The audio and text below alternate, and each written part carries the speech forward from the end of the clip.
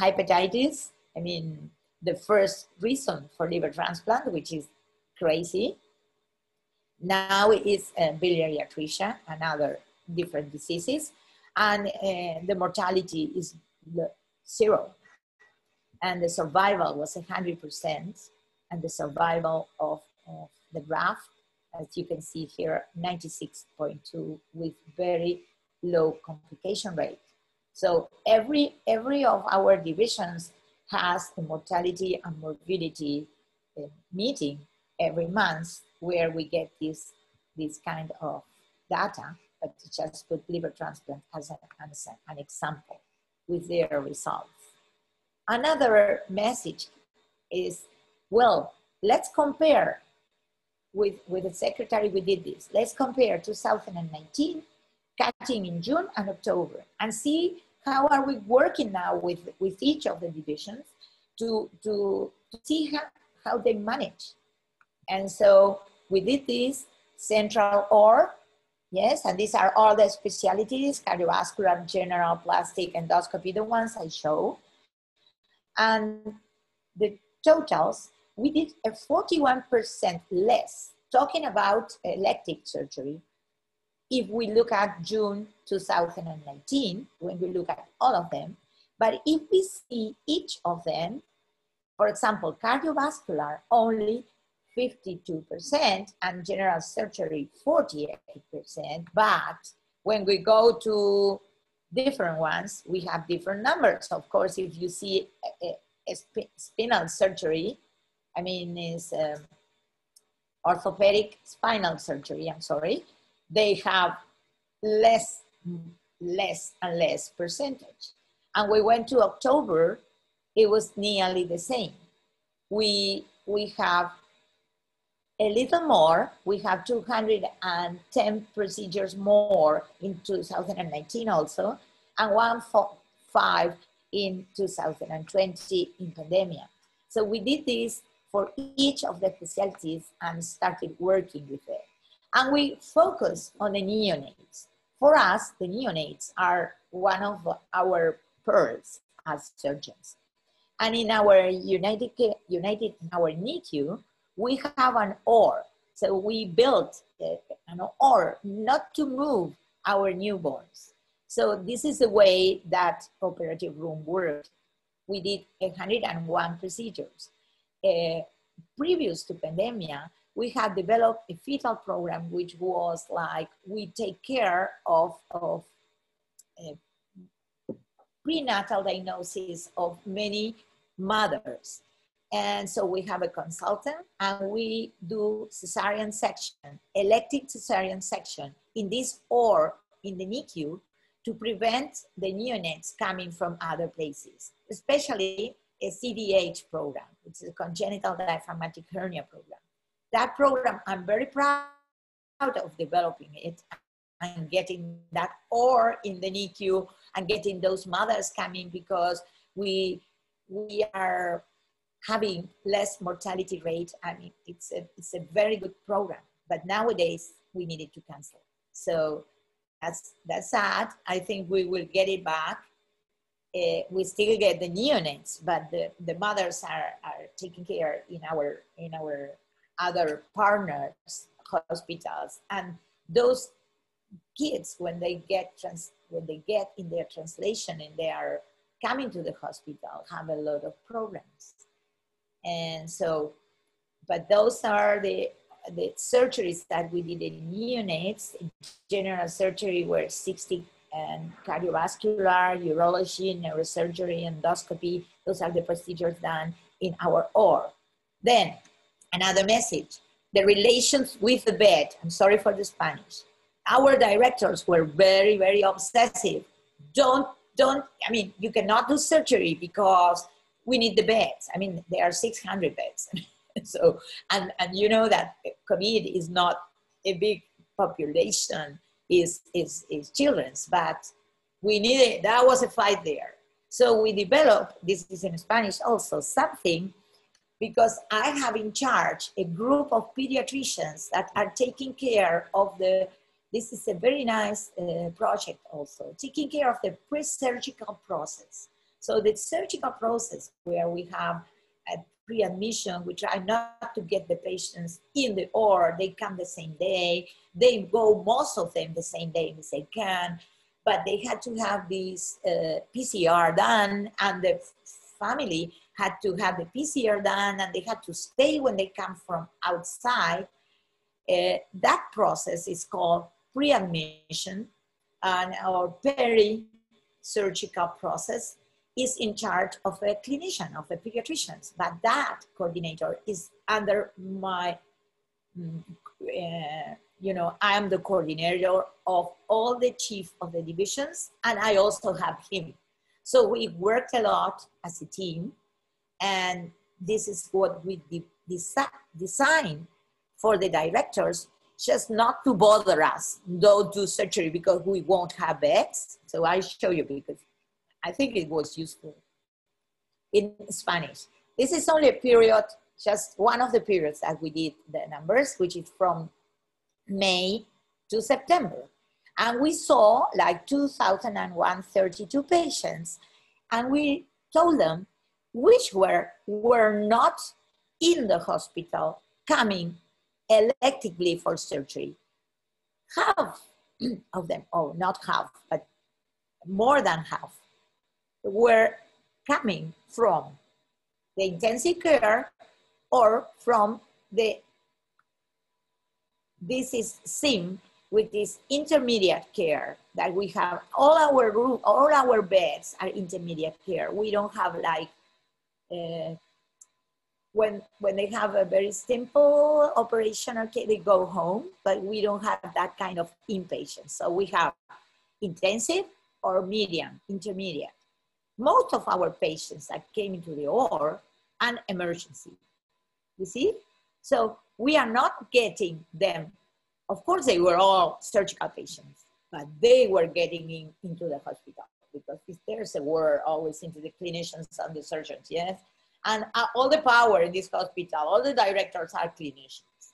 So I am the one that had to translate the surgical problems to the clinicians most of them are my age and I know them from very young. So it's, it's nice to discuss, but sometimes it gets tough. So with this, they were relaxed. You see, we are doing surgery, but most of these kids are coming from you. So please don't bother us. We will continue doing elective surgery because it, that was a do only emergency. Everyone was in panic. And what could have been that? What could have happened to all these children that I show you that we did safely, all the transplants. If we were not here with a group just trying to, to convince and working hard. So these a 600s enter through the operative rooms, what we call surgical center. In the surgical center, we get the patients the, the, the same day that, that they are going to have surgery. That's what you do in the States, I mean, but it's not very often that happens in Latin America. Is something that we did with this coordinator, which I appreciate a lot because he's very involved in the surgical programs. And that's the nice thing to do, to get people involved from different areas with the real time. Because most of the clinicians sometimes are not so involved with what an OR is. So we were happy to tell them that 46% of these patients that came through the were kept in our area and sent home. Even some complex cases, even a laparoscopy that was doing early but could be sent home. All right. So, and then we needed, of course, 135 NICU, uh, sorry, NICU, not neonatal, but uh, intensive care uh, beds, and 216 intermediate beds. But with this kind of data got, we could discuss every day, and they let us do our elective cases safely. Otherwise, they can say, stop doing elective cases. And now, of course, I will tell you, I won't put you here the protocols because Nia has them. They are very homemade done, but uh, they were useful to communicate with young, with nurses, with residents, with new people. We got the new residents in the middle of pandemic, and we have a, we had to extend the residency program to October. In June, we had to cut the residency program. We needed to cut it in October. So the chief residents and the previous residents stayed to October. But in October, we got the new ones. And new ones means not only surgeons, but new clinicians, new nurses, new everything. And you know, it's hard to teach and to, to be effective with people in training. So that was also another. So it was nice to have the protocols and, and we, we decided this is the ore, this is planta baja is where the ore is with this and the, the red one were the, the ores that we decided we're going to use only for COVID, PCR positive patients or PCR that not ready yet were considered COVID positive and were treated differently. And they come, they, they went to a different in room and they came because it's the first, first floor and this is the uh, basement, yes, where the ore is where the elevators were. We made these plans. We made videos showing them how the, the way to the ore was different. And we, we worked a lot with this, with these protocols, and there are videos that I won't show you because. And so this is the active, active COVID uh, surgical rooms. In June, July, in August, July, August, September, October, December, how many activated protocols were done? Because as I told you, now we have double. We are activating protocols every day because we duplicated the patients that we are doing and we have more cases. But as I told you, if, a, if they are tested, we don't need to activate just such and, and a protocol. Of course, we take care, but not in the same way. And then is where my passion is, and I think we will finish with this and exchange with you any questions and any you know suggestions that will be very nice for us to receive. Telesimulation, you know, ours is a place where we develop a lot of simulation, presential simulation. In low-cost models, we develop our models. We, we have some fancy things, but most of our, our strengths is the devotion and the dedication of a group of educators that develop programs and develop models, and in which many scrub nurses are involved. Uh, but we couldn't do it in pandemic. It was completely here center now connected, but I was, I have a prohibition to come in. So the concept of telesimulation arrived, and I have a short video to show. But first of all, I, I, I have this, which is the name of our CESIM. What does it mean? Garrahan is the hospital. C is center. SIM, simulation.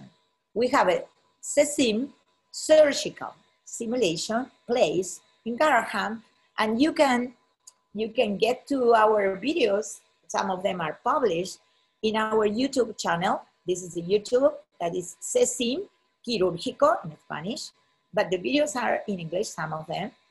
We have an instagram which is cesim barra low here quirúrgico. Quirúrgico is surgical and so you can get it. We have a facebook and we have a mail. So if you want to contact us here it says join us. We, we wait for you. And it's Centro Simulación Garrahan hmm? arroba. Ahora, I, this is a very short video that shows very, very, very fast many of our ways. I mean, we have developed kind of models. This is Gruyère because it's like many holes like the cheese and we develop inside the, you see this is very low cost and, and it, a wall, we train our residents, we have trained like 750 stations of uh, surgeons and residents in pediatric surgery from many parts of Latin America and other parts of the world in groups of 10. So our work is very hard uh, developing these models and this, as you see, telecommunication. But it stopped completely in March. And we have courses uh, posted for the whole year and people writing and saying, and we have the new residents that are coming inside doing appendectomies.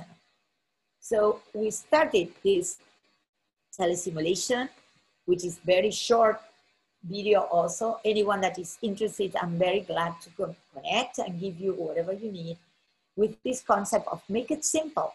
We cannot waste a lot of money and time. So using any, any of these trainers that we have with a webcam connected to a computer or developing like a tablet trainer, this we made it ourselves, is good. And getting an external vision of the ergonomy with a telephone, we made this kit for a very basic, what we call essentials, that we developed this kit initially for IPEG to develop the essential course, which is very easy to send or to develop. And how did we connect? With a Zoom platform, this is my office, and our session of the views, external reviews, I have educators staying at home, and the residents may have this at home. And one of the educators was having one just to show if there's something more to show. We make the break rooms and we get like two students each, or and we also make our debriefings. Uh, and up till now, we got very, very useful data of this process. And that's why we are sharing it with the SAGES Go Global committee and of course developing different things using these principles. Here we are listening to one of our residents doing. Of course you can use advanced technology if you want. That was our, this is OCDE, it's the Communication Distance Office. We used to do this with more sophisticated models and they are published like neonatal models. But nowadays, we need to continue teaching. And this is not cost effective. This is not cost money. It is very cost effective. And I am sure that we will continue doing it even after pandemic. So the basic, the essential courses that we used to do will be done like this from now on. Of course, it seems simple, but it needs dedication, logistic, and of course, you need a link, a, a brain link. I mean, I think that maybe you are in a country that you get technology and you get many things easily. And I love it. I would love to have, I would love to have been born in the United States. I, I love to go there. I love to, I love to learn. I like to receive. I, I really enjoy many, many things that you have. But sometimes there is a nice, what I call blend, exact for our Latin American colleagues. I always give a lecture that is find the perfect blend. Get, get that. Don't be, don't have prejudice. Don't be, you know, criticizing what you don't have. Get it. Know it. Get to know. Get to the information and then when you come and you have your feet on your ground, in the place where you belong, you develop the perfect blend. Get the blend, like the coffee. Uh, and so I think this is important for the generations because that's the way our children, because we have pediatric surgeons, but our patients, I take care of patients of 18, 19, and 20 with many malformations, especially pelvic and, and female reconstructive surgery malformations. And uh, they are not only children, but they, they get the best that they can when people get involved, get, when people get linked, when brains, brains get linked to get those products. That, that's something I truly believe. And this is the last message I have. Here it says Ateneo Central. Yes, this is uh, like your meetings, uh, every week meetings that the hospital have meetings with every, of course, we are doing them in Zoom. We are not doing presential meetings in the rooms, but we are having them. And this is acute abdomen, something that we made with the general surgery group and with the pre-surgical group, the clinicians, because there was, uh, people wonder if with the COVID times, we, are, we were doing later surgeries to the acute abdomen. And so the clinicians were saying, the surgeons are doing the surgery some hours after because they are waiting for the PCR. And people and children are getting into trouble. So we made a data collection of all those acute abdomens treated during COVID times. And this group uh, works through data, which is just two or three that I will show you, but especially the conclusion. What was the time took taken to go into surgery versus complication? And here, no and yes, and the percentage of complications. So you see during from the 20, from April to June, hmm, the, how there were no complications after because of the time, the conclusions. And if we can get to the PCR it was very useful for the institution. But what was seen is that we had more complex cases. Why? People were not coming. So the patients were not coming earlier. So from the two conclusions, we have that acute, advanced acute abdomen were more common in relation to pre-consult and the adaptation to the protocol didn't have a negative impact in the evolution of complications. So this, this paper is going to be published, but it was very useful for the team to be relaxed that if we had an acute abdomen done 24 hours later with medication, waiting for the, for the PCR was not a bad thing for the institution. But we needed to work in people staying at home without bringing the children with acute abdomen because of fear. Is it now it's over? I mean, we are in October and we are getting more like surviving with the virus and living with the virus. Although, as I showed you, beginning have more cases, and uh, as I told you, I think we you asked me about the vaccine. I mean, our country, the only vaccine that the government has make an arrangement is the Russian. I'm, I'm laughing because I know that in the scientific community, this is not the best one for many different different reasons that I don't know very precisely, and I prefer not to give my opinion if I am not an expert in that we, can, we are not going to get the Pfizer machine.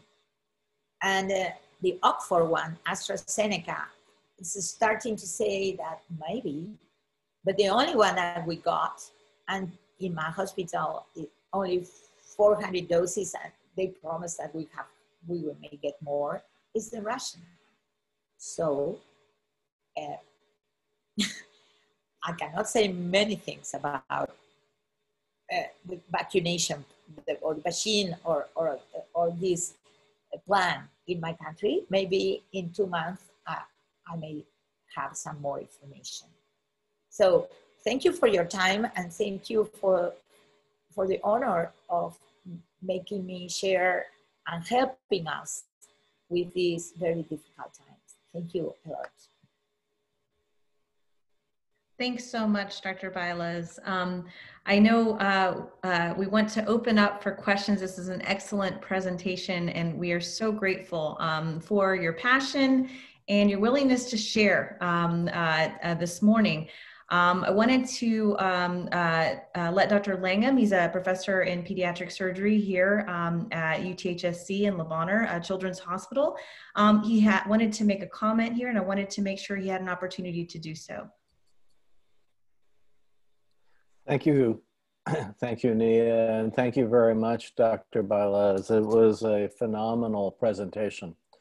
Um, I, it, times of crisis um, emphasize the importance of good leadership. And I think the uh, Hospital and the children in Buenos Aires have benefited from your leadership. The flexibility, creativity, and uh, attention to data um, in learning through this difficult period is obvious in your talk. So congratulations and please, as citizens of the world, accept our thanks for the work you do.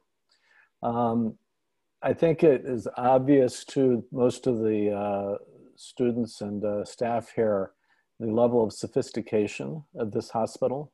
Um, they have a transplant program that is dramatically more capable and better than us uh, with better results and uh, has a um, impressive, the most impressive thing I found as somebody who's been involved in transplantation uh, earlier in my career is the low number of retransplantation which means that the postoperative uh, and long-term care that these children are getting is superb uh, because uh, many centers have much higher rates of retransplantation. Also, the congenital diaphragmatic hernia program with in-hospital delivery is something that makes me jealous. We've tried for 15 years here to do this and have not been successful and it uh, allows much more controlled environment and uh, a better mortality rate for that difficult condition. So um, for those of you who don't do pediatric surgery every day, the level of sophistication of the institution Dr. Bailez has presented us is uh, world-class um, and better than ours.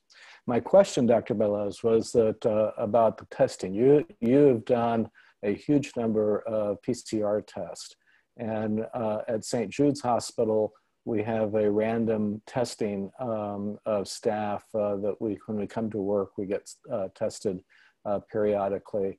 At Le Bonheur, at our general pediatric hospital, uh, staff are not tested because of uh, the limitations of uh, testing numbers, and we, we are just guessing. We're screening based on um, this. So I'm curious as to whether you were testing staff and how helpful you found that data in managing COVID. Yeah, thank you for the question.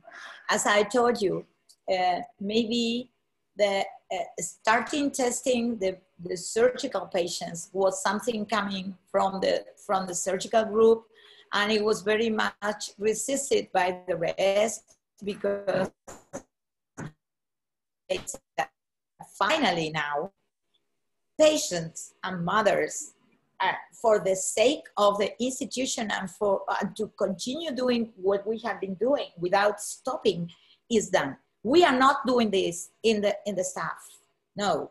So, uh, which might have been, but uh, uh, the staff is being tested by uh, antibodies. I mean, IgG, and IgM. Yes. So we are. This is something that's not under my umbrella, but the, the um, committee crisis, which is in charge of the infection, infectious specialist, infectious disease specialist, uh, is not, and the government and the, you know, the Ministry of Health is not doing this in the staff. What, what, has, what is being done is a very close, it's a very close follow of uh, any contact and getting the patients and the mother into the hospital tested i mean the one that is coming in is something that was considered to be uh, as i can tell you we, we are not experts and I, I won't tell you that this is the way to go but the protocols of taking care with, especially with using the EPP, that we were very, very strong in that. I mean, the hospital bought everything. I mean, the masks, the N95, and uh, uh, everything to take care of patients uh, with protection for the staff. We, we didn't buy ourselves the protection, which sometimes in other conversations I heard it happened. Uh, this, as I told you, this is a public hospital. This is a populist government now, but I think that they have not behaved so well with the testing of the whole population. Uh, we had very little testing in numbers of the population. And we have a high testing in patients inside our hospital. You see, this is not something that is not standards for everyone. That's what I, I wanted to say. And I, I, agree that we might have been uh, followed as a staff better. But as I show you, every week, one of the directors uh, is showing us how many of our staff got infected. And we have seen that more people got infected. Eh, I mean, colleagues in the numbers. I don't have that here, but we discussed this last week. More colleagues have been infected between the group that stayed not coming to the hospital. I don't know if that happens everywhere, but for example, the chief of ophthalmology who is uh, 63, has been coming with tele, telework three times a week, developed the program of retinoblastoma, was very, was very, you know, worried about getting infected because ophthalmology, they are always over the patients, just getting examination sometimes in patients that are, are, are awake and not asleep. And well, she went on holiday. She went to the falls because she and she got infected there. Uh, we have uh, one of our clinicians that's not coming because she's obese, she's diabetic, and uh, in October, she decided that she wanted to see her sister. She got infected. So it's, it, we are seeing that in socialization, in some family meetings, or not outside, or are more proclived to get infected. We don't have any uh, infected detected with patients in the hospital in this whole uh, time. With, with this, I mean, these protocols and, and the community crisis is working very hard on that. I'm not the expert, so I just join them sometimes because it's my responsibility. But they are proud of this. Of course, they can lie if you think, but it's very hard to know where you get infected uh, we no, had I, I, I'm sorry. I, I um, uh, agree with you. I think this is exactly what we have found here. And I think that the uh, very careful use of PPE that you describe is what we've tried to do. Have not tested our staff, but the staff members who've gotten sick here generally have gotten sick through socialization, not from patients. So our experience yes, what you're yes. describing. Oh, okay. That's why we are going through because I, there was a group in the OR. I had two nurses, and they, what? But you know, I understand the feelings. Uh, we are all getting, you know, very, very tired, and then and it's it's terrible. Yes. I work I work in different places. I love neonatal surgery and so I work in a, in a NICU outside the hospital. It's a private one. It's a very fancy one, and we do very ni- nice MIS surgery, but they don't test them. They don't test. So I had to be like a, a robot when I go and do surgery because I say, they don't test. They say it's not necessary. You are using the protocol, but the protocols are not so strict as in, as in the hospital because when we go in protocol here, nobody goes in or out the or it's different. You can have an N95 and a, like a facial uh, something, but that's not the whole protocol. If you don't get the, the, the gowns correctly, nobody's taking your, and after five, three, four hours when we used to uh, put down the, the air condition. I mean, we couldn't use the air condition at the beginning. Now we are using the air condition. I mean, we will die. So it is hard. It is very hard. Then you cannot kiss your children or, I mean, I haven't kissed my daughter who lives with me for the youngest one. She's 21, but I, I love to kiss her. You know, I'm not kissing her. and she got like four tested, crazy. Yes, because if you no. go, she's afraid and she goes and get tested. Yeah. It is hard. And so the nurses were having a pizza one day. Yeah. And that was the only play, moment that we needed to get 10 people out of the OR, uh, isolated them because they were having pizza and at the same time, even they were two meters away, they were so and you know the directors were very angry and it was a trouble. And i say i understand them. So now we remove yes. every place where they can eat together. I mean it's it's a little i i yes, i think no, that it is it is hard. back. yeah so i think yeah. that, that you will be faster okay with the, with the Pfizer. I don't know. I was planning to travel to the US. I mean, on Monday I was going there. I needed to do something. I, of course, I am not going now. Uh, but then I say, if I get there and I can buy the fast Pfizer, I will get the budget because I know it won't come here because of political issues. Completely right. sure. We change the government. With the other government, we will have it. With this one, we won't.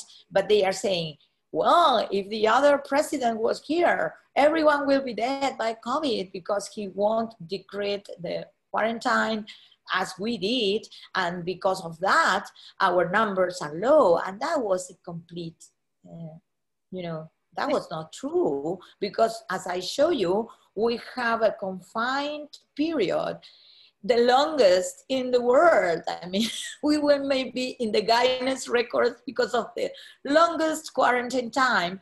And what happened to the whole numbers now and to the death? Nothing.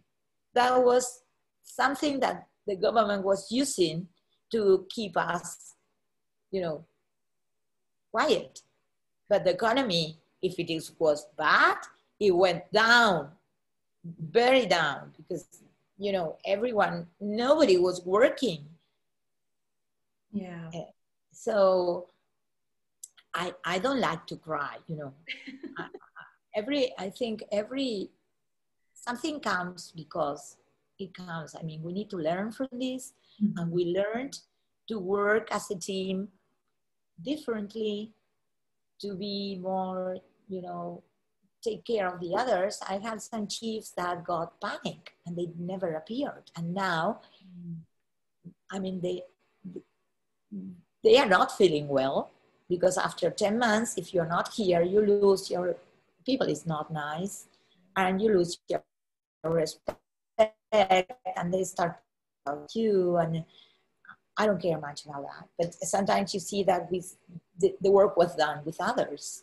And so is there's there will be a lot of human factors that we need to face. Definitely. I love Dr. Violet. Absolutely. Absolutely. That photograph of your team and um, the entire hospital uh, staff being on the same grounds and that priority number one was to preserve that team, um, that understanding. You know, Dr. Langham, when we had um, some of our OSITAS talks, um, we are listening to colleagues, um, many of whom Dr. Bailez trained um, in Europe and Italy and, and, Spain, and listening to how um, they lost so many people um, from that staff in the very early stages of the pandemic and realizing what the cost of that was. And so, um, really, her approach, your approach, Dr. Bailez, in terms of trying to figure out a way to first keep that group intact um, and understanding that there are certain individuals that need to be away and, and figuring out ways in which to make them uh, continue to be productive and continue to be relevant and useful and help the overall mission, but then also realizing that others um, would be um, more amenable to being in person and on staff and whatnot. Um, I had one question, if it's okay, uh, to ask you. You know, one of the things that um, on the adult side of things that we've realized is um, there are some procedures that traditionally we have been um, keeping those patients overnight, um, uh, you know, and watching them just just to make sure, right? You know, make sure they're doing okay. And because of bed availability, um, we have changed. Um, we've we've really kind of focused on the outpatient follow up, phone calls, tele, tele telehealth visits. And one of those areas has actually been bariatrics. And I, I don't do bariatrics, but I've certainly taken care, do continue to take care of a lot of those patients. And I wonder if you have a sense um, of some of those same shifts happening um, in your practice or in your colleagues' practice, where normally you might keep them overnight um, and occupy a bed. But because of COVID times and because of bed, bed availability, you've been making that clinical and surgical um, change of practice um, over the last few months. Yeah, I, I, as I have told you, I, I believe in teams because I'm not, I'm not one person work. I, I, I love to have teams and the, the best of the teams is that if you let them go they develop talents that you can never imagine and they still you can share with them and, and get get advantage. So suppose if you don't do the teams because you are not Teresa Calcutta, yes, you know, know, you're not a saint, but do it for if you if for cleverness. I mean, if you are clever, that will be the best way of going. And giving a clinician this perioperative session makes us, and, and he's part of us now, and he's always wearing a green gown, which I say the surgeons wear a green gown, and, so, and he's uh, with us.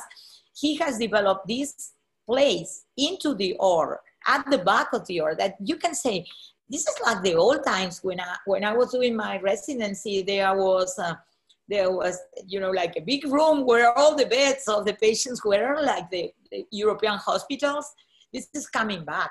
Maybe not, because there he started doing this to convince with us, the directors, that we wanted to do elective surgery and that won't get the hospital beds. And, and so we started uh, even some acute abdomens staying there overnight or going home out before, following them. He has a team, half of his team is doing telephone, tele, tele following. And all the COVIDs that we do the, the day before are followed by a person with a phone also. So he's very clever, he's creative, and he has the respect of his group. And so that's the way we have been changing this. I cannot tell you, I don't have the data to tell you. We know that we haven't any morbidity complication because we do every morbidity meeting every every month of, of general surgery. I am a general surgeon. I mostly, and I'm still do general surgery in the hospital. I mean, I do surgery and teaching. But it, cardiovascular has another one, but we don't leave the cardiovasculars there. The cardiovasculars go to a unit, special unit. But there we leave uh, uh, for example, an ovarian cyst that you do a laparoscopy, we used to say 24 hours. If they come in the early and we try to fix that so they can, they can go home. And a, gallbladder sometimes, we never, I mean, I know that people do that. We, we have never uh, sent a gallbladder home the same day. So I can have the list because I'm sure he has it and, and also about any of the divisions I show. I mean, anything that you you may need, or I know you don't need our our stuff, but I mean that you are interested in because of any project that you have in mind, we can share. But sometimes I don't know. For example, I don't have a special people taking care of the data. Uh, of the data. So I asked the secretary, and my secretary during pandemia arrived after two months because she, and when she arrived, she is fixed to come twice a week to my office because The other time she has to go to another office. I mean, administrative people had a different. And after this month, they will come back. And some of them will not come back. I don't know why, because this is a public administration, you know what it is. Thank They you. get the salary if they don't come.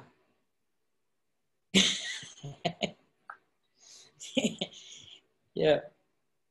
But I have two uh, retired surgeons, uh, one surgeon and one nurse, which for me were the best uh, team in, in simulation.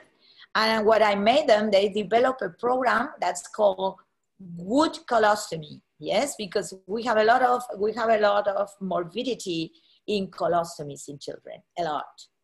And so we have this program that the two retired women are doing from their homes because I wanted to keep them active and not lose them for, for when we are coming back. And it's a it's, it's so gorgeous a program. They teach the people to do their own model, and we don't even send models. And we teach them to make a colostomy. And we have people from Peru, Chile, and uh, it's free. So they are working hard. Now I want to have an industry to get a salary for them, at least something to, to you know, to stimulate them, but they are doing it for free. well, we will have better times in the lake.